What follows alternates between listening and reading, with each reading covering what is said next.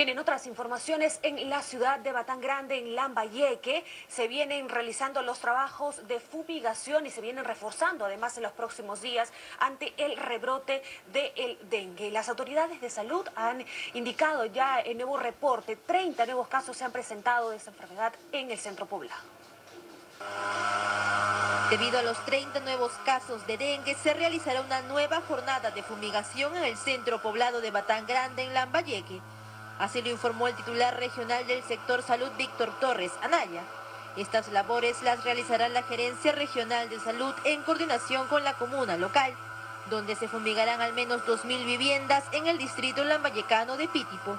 Tener eh, personal preparado para una gran epidemia como la que hemos, estamos asistiendo en Piura o Tumbes, y, tener eh, gente preparada en cada uno de los distritos y formar eh, este personal que pueda hacer un control en simultáneo con, esta actividad. Eh, esta actividad en Batangrande empezará el día lunes.